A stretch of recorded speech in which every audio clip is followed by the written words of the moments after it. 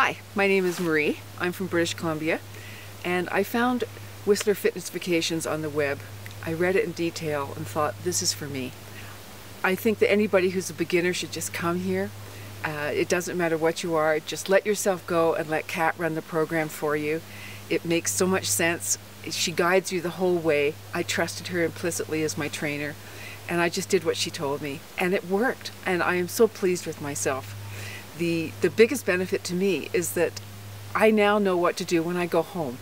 And I think if you're just starting out, you should just go for it. Give yourself to Kat and let her do it for you.